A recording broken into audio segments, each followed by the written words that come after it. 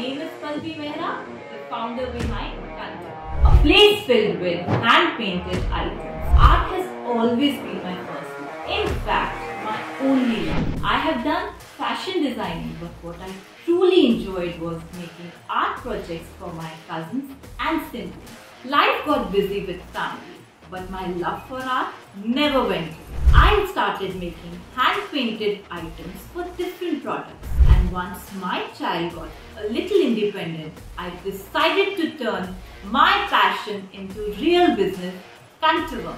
Kantvam is my dream come true and I'm so very excited to share it with you all. We put a lot of love and care in every single piece we create. It is one of its kind and unique. Come join me on this artistry adventure by following my page Kantvam by Pallavi. Your support means everything.